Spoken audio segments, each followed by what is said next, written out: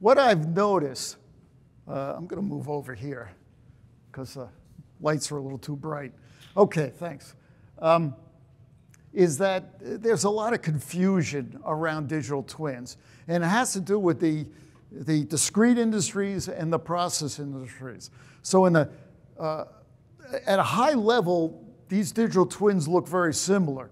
You make something, uh, and uh, you design something, you make it, and then you support it afterwards. But when you get down a little deeper, the business process is a lot different. And I've been a lot of conferences and talked to a lot of people, and, and people seem to be talk, talking past each other, meaning someone from the discrete industries will be talking about a digital twin uh, and trying to explain it to someone in the process industries, and they're really not communicating at all, and vice versa. So, uh, the, my uh, introductory presentation is an attempt to uh, clarify some of that confusion. Uh, and then, of course, the rest of the session will focus on the process industries. So uh, this is our definition of a digital twin. Um, the, uh, uh, in the focus I want to, what I want to talk about is around the 3D uh, model that's there and the business processes. So um, each area, each type of digital twin manages business processes, but then also provides uh, information and people navigate that information through the uh, 3D model. So we look up in the upper right-hand corner, um, you'll see uh, an upgrade project going on. There are now uh, current existing three pumps and they're adding a fourth pump. So from the viewpoint of the discrete industries, they're focused on that pump and the bill of materials for the pump, maybe some uh, procedures for maintenance, but it's all around the pump and the motor attached to that pump. Uh, when we go over to the process industries, there's a more that application and how does that pump fit in the larger picture of the entire plant and the pumps nearby. All right. So uh, just to drill into the the, the model for the process industries a little bit, and then I'll do the same for the discrete. Um, we like to show circles, uh, Venn diagram, because uh, each one of those circles represents a set of business processes. And in design and build, there's a set of business processes, then you have handover, and you go to operate and maintain. Uh, and the business processes and operate and maintain are very different. Uh, there's a little overlap for handover. Uh, that green area is, looks large on the slide, but it's actually probably a, a, sliver.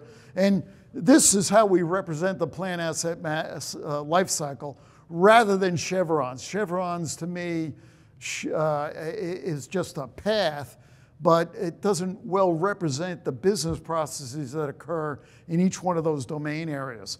So we find that digital twin uh, in design and build manages usually asset information around the design of the plant uh, and sharing that information through uh, the design and construction uh, to minimize rework so the plant gets delivered on time, uh, in budget, uh, and in spec, you know, the key KPIs for an EPC, and then comes on stream sooner uh, so that the end user benefits with revenue uh, earlier uh, time to benefit.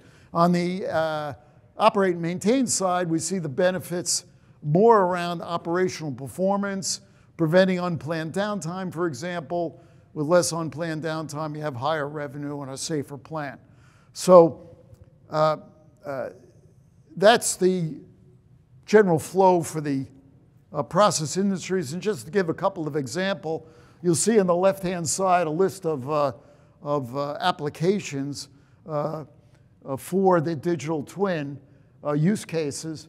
And then there's an example of a, of a screenshot from Bentley Systems PlantSight. and again, the key benefit is with the digital twin, the plant, for the end user, the plant comes online sooner, you get higher revenue.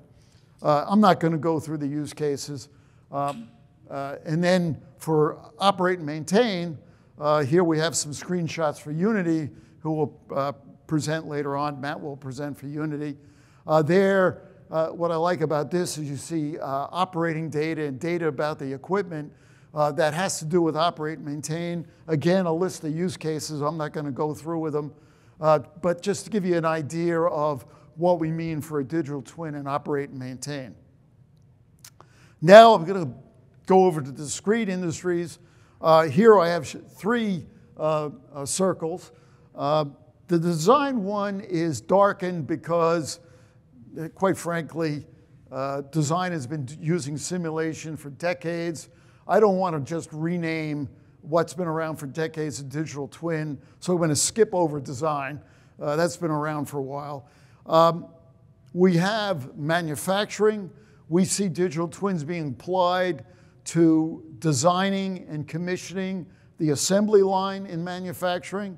So we have assembly line commissioning. That means uh, uh, when I'm not talking about the ring out where you, you figure out if uh, tag 101 is really assigned to the first uh, temperature gauge or not, uh, more around the control program. So does the robot swing around and smash into another robot, you know, two, two robot arms hit, or does a robot arm swing around and take out a, a girder uh, or column rather? You don't want that to happen. That's all very bad. So uh, it, it's does the virtual commissioning for the control programs for the most part. Uh, and then that avoids rework and delays and faster time to benefit, meaning the plant comes on sooner.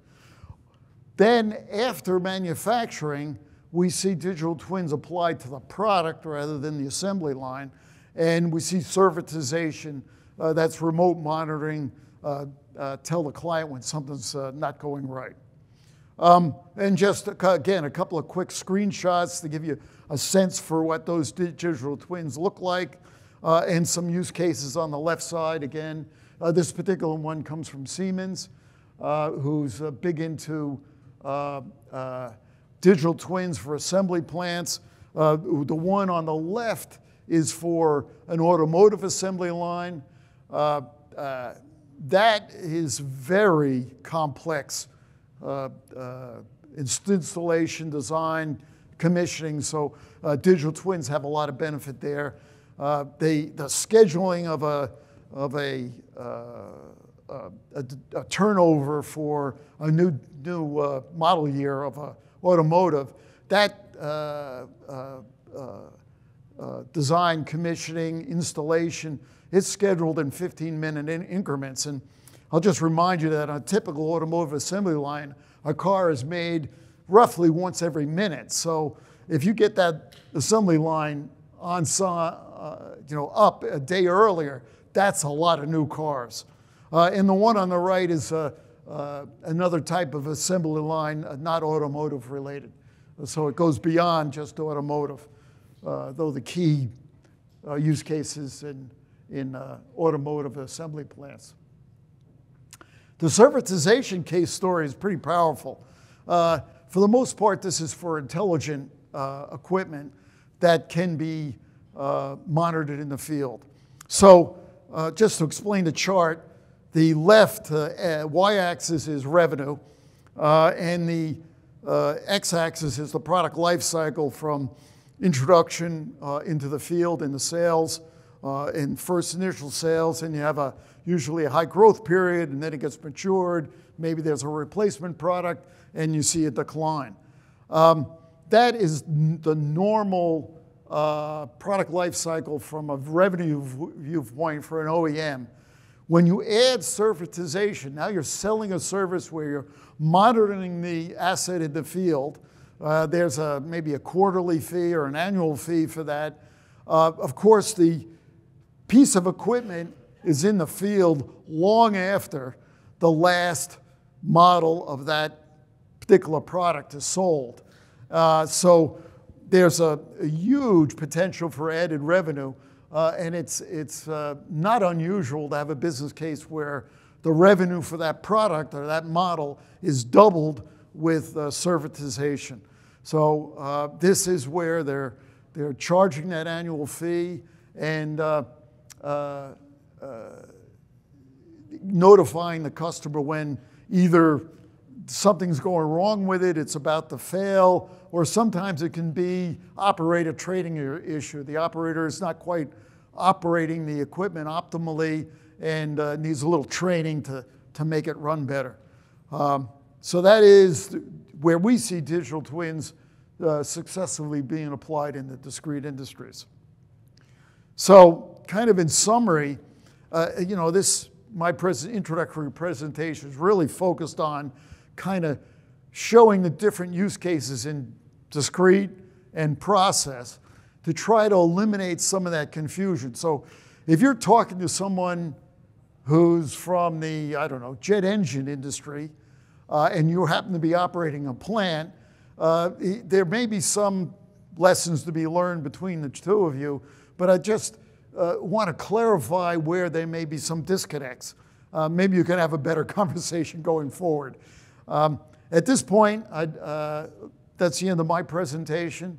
Uh, and I'd like to bring up the folks from OQ uh, to talk about uh, their application uh, in the uh, upstream oil and gas industry.